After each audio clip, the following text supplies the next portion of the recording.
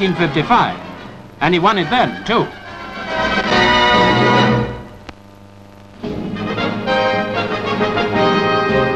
Marlborough House and the Commonwealth Prime Minister's Conference in London. The emergence of a new pattern in world affairs makes this a meeting of historic importance. Delegates therefore made certain of being on time. Here's Canada's Mr. Diefenbaker.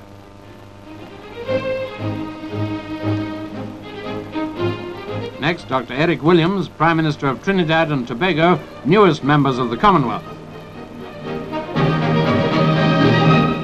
Getting a good hearing these days, representatives from Africa.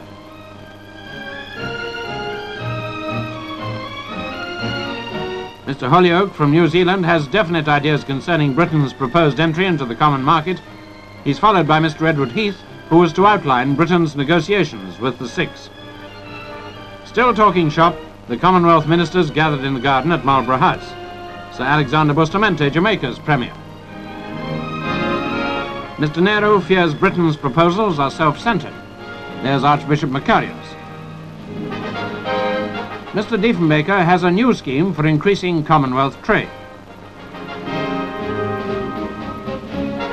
The Prime Minister with Sir Roy Welensky. Mr. Menzies and President Ayub Khan.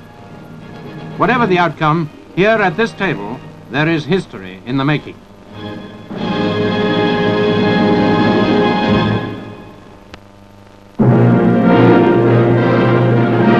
an old school.